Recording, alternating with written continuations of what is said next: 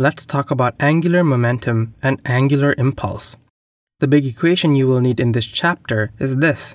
It's called the principle of angular impulse and momentum.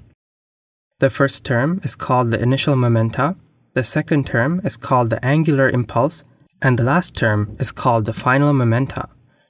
It doesn't mean a lot like this, so let's break down each term so we know what they mean. Angular momentum is the moment of a particle's momentum about a point. Yeah, sounds confusing, but let's say we have a particle like this, and it's moving along a curved path and it's along the xy plane. We can easily find the momentum by multiplying mass times velocity. But let's say we want to figure out the angular momentum about a random point or the z-axis, which we will label O. We can do that by multiplying the perpendicular distance from the z-axis to the line of action of mass times velocity, or in other words, momentum. This is when it's a scalar. If we want to figure out the angular momentum when we're looking at a vector formulation, which means the particle is now moving along a space curve, it's pretty similar to before.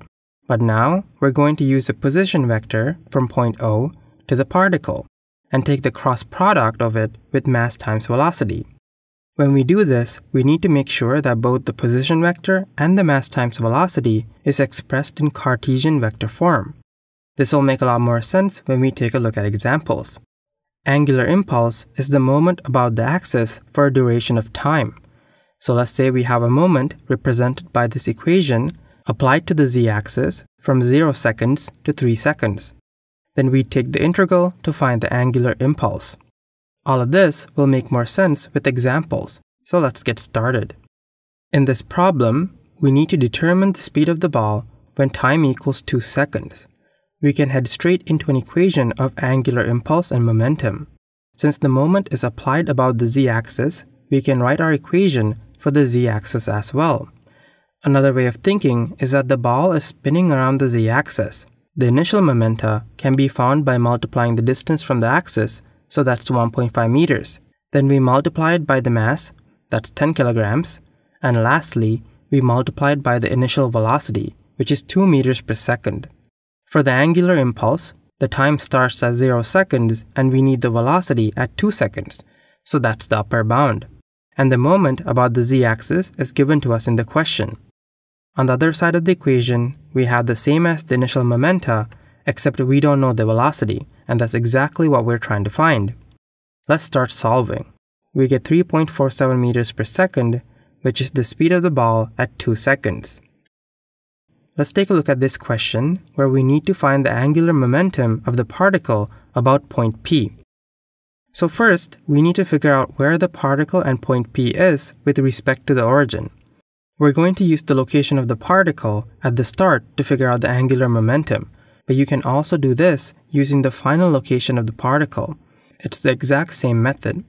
So for the starting location of the particle, we see that it's at 2i, negative 1.5j, plus 2k.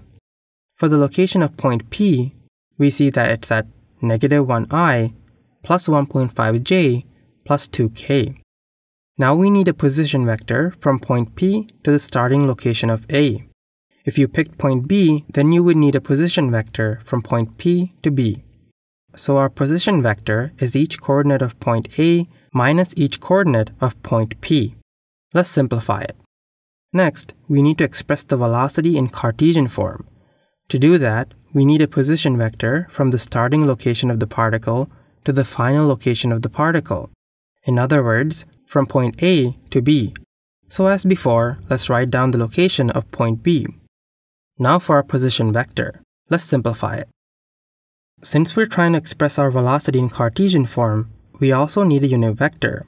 Hopefully this is familiar to you from your statics class.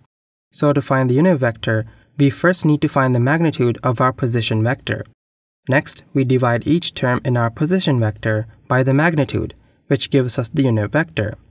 We can finally express the velocity in Cartesian form by multiplying the unit vector by the velocity. So we're going to multiply each term by 6. Now we got our velocity expressed in Cartesian form. All that's left to do is find the angular momentum. For that, we're going to use the equation for angular momentum in vector formulation. We're going to take the cross product, If you don't remember or need a refresh on doing it, please check the description below. Don't forget, our velocity is multiplied by the mass, which is 3 kilograms. Let's find the determinant, and that's our answer. If you use the position vector from P to B, then you'd use that vector instead of the vector from P to A. You'll get the same answer. Let's take a look at one last example. In this problem, we need to find the time it would take for the sphere to attain a speed of 3 meters per second. We can head straight into an equation of angular impulse and momentum. We're going to look at just the z-axis, since that's the axis the spheres are spinning around, which we can see because it's a top-down view given to us. So for the initial momenta, we have a length of 0.4 meters multiplied by the mass of the sphere multiplied by its initial velocity, which is zero since it's starting from rest. We have two spheres, so we can multiply all of this by 2. Now for the angular impulse. From 0 seconds to a certain time, a moment of 8t is applied about the z-axis. So that's going to be our angular impulse. Now on the other side of the equation, we have the final momenta, which is pretty much the same as the initial momenta, but now the spheres are spinning with a velocity of 3 meters per second. All we need to do is solve for the time, and we get 1.34 seconds. So it took the spheres 1.34 seconds to achieve a speed of 3 meters per second. That should cover the types of problems you will face in this chapter. I hope this helped you and thanks for watching. Best of luck with your studies.